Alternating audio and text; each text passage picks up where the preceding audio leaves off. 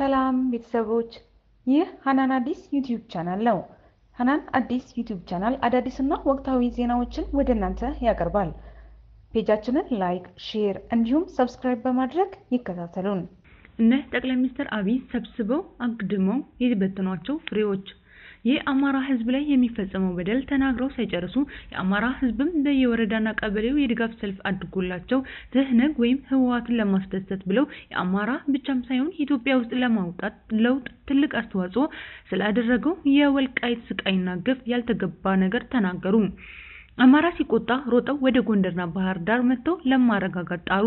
ሆኖም ባህር ዳር፣ ጎንደር ከመጡ በኋላ የገጠማቸው ጠንካራ አስተያየት መልካምነቱን አላዩም። ስህተቱ የተፈጠረው የአማራ ብሔርተኝነትን ያቀዘቅዛሉ ብለው ያሰቧቸውን ሰዎች ማቅረብ ሲጀምሩ ነው። ከዚህ ቀን በኋላ ከአማራው ጋር ተቆራርጠዋል። ወደ ስልጣን ሲመጡ በዋነኝነት የተጠቀሙት የአማራውና ከተሜውን ድጋፍ ቢሆንም ጠብቀው ለመቆየት አልጣሩም። ሳይታሰብ የተሰበሰበውን ሳይታሰብ አግድመው በትነውታል። ጠቅላይ ሚኒስትር አብይ እውቅና ካገኙበት ሌላኛው የታሰሩትን በመፍታት ነው። በእኔ ስልጣን ዘመን ማንም አሳዳጅ ማንም ተሳዳጅ አይሆንም ብለው ነበር። ይሁንና አሁን አማራው ተሳዳጅ ሆኗል። ጠቅላይ ሚኒስትር አብይ ወደ ውጭ ሀገር ሄደው በሌላ ሀገር የታሰሩትን ኢትዮጵያውያን አስፈትተው መጥተዋል ተብሎ በተደጋጋሚ ተዘግቧል። ለአብነት ያህል ከሱዳን ሀገር ኢትዮጵያውያንን አስፈትተው መጡ ሲባል ኢትዮጵያ ውስጥ አማራ እየተሳደደ እየነበር ነው። አሁንም በእስር ላይ ናቸው። ጠቅላይ ሚኒስትር ስለ ኢትዮጵያ ብዙም ተናግረዋል። አንዱ ከሌላው ማንነቱ እንደማይለዩም ተናግረው ብዙ ተስፋ የጣለባቸውም ሰው ነበር። ይሁንና ይህ የቆየው ለትንሽ ጊዜ ብቻ ነው። ተቋማቱ ሙሉ በሙሉ በራሳቸው ፓርቲ አመራሮች እንዲያዙ ሆነ። የትህነግ ወይም ህወሓት አሰራር እያጠለጠሉ የመጡ ሰው እንደገና መንገዱን ጀመሩት። ለስልጣን የራሳቸውን ፓርቲ ሰዎች ማንነት ሲሾሙ፣ ለእስር ደግሞ ተመራጭ የሆነው አማራው ነው። አስረን አናጣራም ያሉ ማንነታቸው ብቻ ተጣርቶ ታሰሩ። ጠቅላይ ሚኒስትር አብይ የመሩት አስተዳደር ሌላኛው ተቀባይነት ያገኘበት በትጥቅ ትግል የነበሩ ኃይሎችን ወደ ሀገራቸው እንዲገቡ ማድረግ ነው። ይህ ጉዳይ ይበል ያሰኛል ሲባል እንደ አብን አይነት በሰላማዊ ትግል ላይ ያሉ ፓርቲዎች ተጠቂ ሆኑ። እንደ ባላደራ ያሉ ተቋማት ለወከባና ለእስር ተዳረጉ። በመሳሪያ የታገሉ የነበሩት ምህረት አድርገናል ያሉ በሰላማዊ ትግል ያሉ ላይ ግልጽ ጦርነት እንገባለን አሉ። ይህ የሆነው ደግሞ ወለጋ ውስጥ የመሳሪያ ዞንና ና እንገንጠል የሚላቸው ጥጋበኛ ባለበት ነው። ከሀያ በላይ ባንኮች ተዘርፈው የሰው ቤት በጠራራ ፀሐይ የሚዘርፍ ንጹሐንን የሚገድል ጎረምሳ ፓርቲያቸው ኦዴፓ በሚያስተዳድረው ክልል ውስጥ በሚፈነጭበት ወቅት ነው። በትህነግ ኢህአዴግ ዘመን ኢትዮጵያ ጋዜጠኞችን የማፈን በማፈን ትታወቃለች። እና አብይ መጥተው ኢትዮጵያ የታሰረ ጋዜጠኛ የላትም ተባለ። ለአንድ ሰሞን ብቻ ከወራት በኋላ ገዢዎች የተናገሩትን ብቻም ሳይሆን ገዢዎች በሕዝብ ላይ የሰሩትን አሉታዊ ተግባር ያጋለጡ እንደ አስራት ያሉ ሚዲያዎች ለአፈና ተዳረጉ። በረራ ኢትዮጲስ ለአፈና ተጋለጡ። እነ በሪሁን አዳነ፣ የባለ አደራው አሊ ኤልያስ ገብሩ፣ ምስጋና ጌታቸው፣ በጎ ፈቃደኛ ጌታቸው አምባቸውና ሌሎቹ አፈና ተዳረጉ። እነ ተመስገን ደሳለኝ ላይ የመንግስት ተቋም የግድያ አዋጅ በተዘዋዋሪ አስነገረ። ኢትዮጵያ የታሰረ ጋዜጠኛ የላትም በተባለች በወራት ውስጥ ሌላ አፈና መጣ። ጠቅላይ ሚኒስትር አብይ በውጭ የነበረውን ሀገር ውስጥ ያለውን ሲኖዶስ ሲያቀራርቡ ብዙ ሞገስ አግኝተዋል፣ ተሸልመውበታልም። ይሁንና ይህ የሆነው ያለው ጠቅላይ ሚኒስትር አብይና የሚመሩት ኃይል የለቀመውን ፍሬ በከንቱ የትም የሚበትን መሆኑን እያሳየን ነው። ሲኖዶስ አንድ እንዲሆን ጥረት አድርገው ለፖለቲካ ግብአት በጽንፈኞች የሚመራ አካል የእምነት ጽም እንዲይዝ ሲገፋፉ ለባላደራ ስብሰባ የከለከለ አካል ስብሰባ አዳራሽ እየሰጠ መግለጫ እንዲያሰማ ያደረገ ነው። ሲኖዶሱ ለዚህ ምላሽ ለመስጠት ሲጥር ማስፈራሪያ እየደረሰ መሆኑን ተሰምቷል። ይህ የሚያሳየው ጽንፈኞች በእምነት ስም ፖለቲካ እያቦካ ያደረጉ ቡድን በጥቂት ጽንፈኞች ብቻ የሚደገፉ እንዳልሆነ ነው። ይህ ተግባር በግልጽ የሚታወቁት ጽንፈኞች ብቻም ሳይሆን የለውጥ ኃይል ነኝ የሚሉት ትልቅ ትልቅ ጥርጣሬ ውስጥ ያስገባል። በአንድ ወቅት አንድ አድርገውናል ብለው የተመረቁት እነ አብይ ለሌላ ወቀሳም ያዘጋጅ ይሆናል። ጠቅላይ ሚኒስትር አብይ ወደ ሀገር ውስጥ ካገኙት ጊዜያዊ ድጋፍ በላይ ብዙን ያስገረመው ጽንፈኛ ተቃዋሚ ተብሎ ሲፈረጅ በነበረው ዲያስፖራም የተደረገላቸው አቀባበል ጭምር ነበር። ይሁንና ያ የዲያስፖራ ድጋፍ ወደ ተቃውሞ ከተቀየረ ወራት ተቆጥረዋል። አዲስ አበባም የኦሮሞ ለማድረግ የነበረው ሩጫ በዲያስፖራውም አሳጥቷቸዋል። ይባስ ብሎ ከሰኔ 15 በኋላ እየታሰሩ ያሉት ለተቃውሞም ዳርጓቸዋል። በአሜሪካ፣ በአውሮፓ፣ በሌሎች የተቃውሞ ድምጻቸው እየተሰሙ ነው። ሰሞኑን በደቡብ ኮሪያና በእስራኤልም ከአማራው ተቃውሞ ገጥሟቸዋል።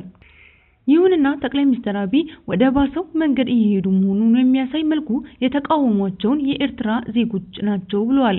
ስለ አማራ መታፈን የጮሁትን አማራዎች ዜግነት ለማግኘት በእስራኤል ጠቅላይ ሚኒስትር ላይ አቤቱታ ያቀረቡ አስመስለውም ሲናገሩ ትዝብትን አትርፈዋል።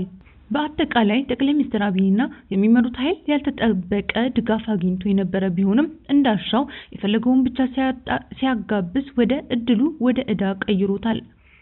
በአጋጣሚም ሆነ በስሌት የሰበሰበውን ፍሬ አጋድሞ በትኖታል። ከላይ ያሉ ለማሳየት ያህል የተጠቀሱትን እንጂ በርካታ እድሎችን በትኖ የታይታ ስራዎች ላይ ተሰማርቷል።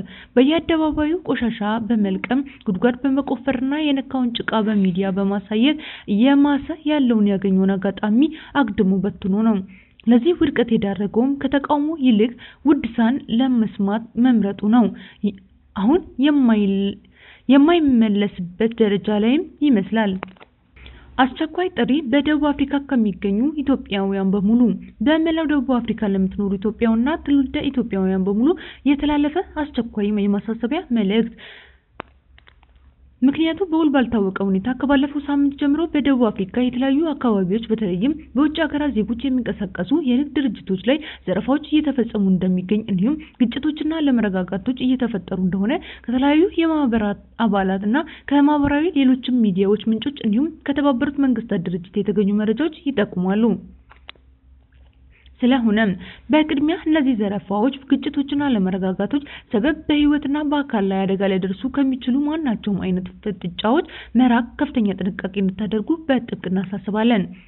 አንደኛ፣ ወቅታዊ ሁኔታ እስኪረጋጋ ድረስ በሱቆች ውስጥ የሚቀመጡ ውድና ቀላል ወደ ገንዘብ የሚቀይሩ ንብረቶች እንዳይያዙ ማድረግ ከተቻለ ሁኔታ እስኪረጋጋ ወደ ሁለተኛ፣ እርስ በእርስ መረጃዎችን መለዋወጥ ሰላማዊ ያልሆኑ ዝንባሌዎች ሲያጋጥሙ ወዲያውኑ ለአካባቢ ፖሊስ ሪፖርት ማድረግ። ሶስተኛ በተደራጀ መንገድ ከአካባቢው የጸጥታ አካላትና ማህበረሰብ ጋር በቅርበት ለመስራት ችግሮች እንዳይከሰቱ ከተከሰቱ በውይይት እንዲፈቱ መስራት እንደሚያስፈልግ እንጠቁማለን።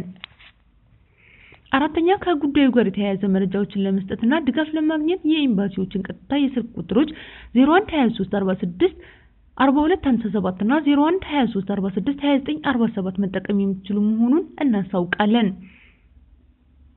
በሌላ በኩል በደቡብ አፍሪካ የመንግስት አካላት በዘላቂ መፍትሄ እርምጃዎች ላይ የበኩላቸውን ድጋፍ እንዲያደርጉ ተጨማሪ እንቅስቃሴዎች የተደረጉ ሲሆን በተለይም ሚስዮኖችን የሚያስተባብረው በኢጋድ አምባሳደሮች ፎረም በአፍሪካውያን ዜጎች ላይ የደረሰውን ችግር እንደ አንድ አጀንዳ ተወስዶ የሀገሪቱ የውጭ ጉዳይ ሚኒስቴር መስሪያ ቤት ኃላፊዎች በተገኙበት ውይይት ተደርጓል።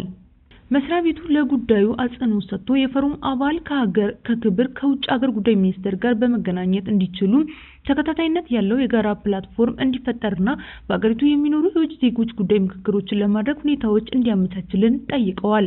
አሁንም በየአካባቢው እያጋጠመ ያለው ዘረፋዎች፣ ግጭቶችና አለመረጋጋቶች ዜጎች ላይ የከፋ ጉዳት ሳያስከትሉ መፍትሄ እንዲያገኙ እንዲሰራ መረጃዎች ለሚመለከቷቸው የደቡብ አፍሪካ የመንግስት አካላት አቅርበን በመከታተል ላይ እንገኛለን።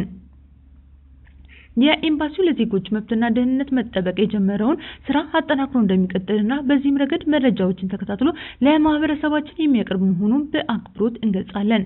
ከሰላምታ ጋር ኤምባሲው ጠብቀው ለመቆየት አልጣሩም። ሳይታሰብ የተሰበሰበውን ሳይታሰብ አግድመው በትነውታል። ጠቅላይ ሚኒስትር አብይ እውቅና ካገኙበት ሌላኛው የታሰሩትን በመፍታት ነው። በእኔ ስልጣን ዘመን ማንም አሳዳጅ ማንም ተሳዳጅ አይሆንም ብለው ነበር። ይሁንና አሁን አማራው ተሳዳጅ ሆኗል። ጠቅላይ ሚኒስትር አብይ ወደ ውጭ ሀገር ሄደው በሌላ ሀገር የታሰሩትን ኢትዮጵያውያን አስፈትተው መጥተዋል ተብሎ በተደጋጋሚ ተዘግቧል። ለአብነት ያህል ከሱዳን ሀገር ኢትዮጵያውያንን አስፈትተው መጡ ሲባል ኢትዮጵያ ውስጥ አማራ እየተሳደደ እየነበር ነው። አሁንም በእስር ላይ ናቸው።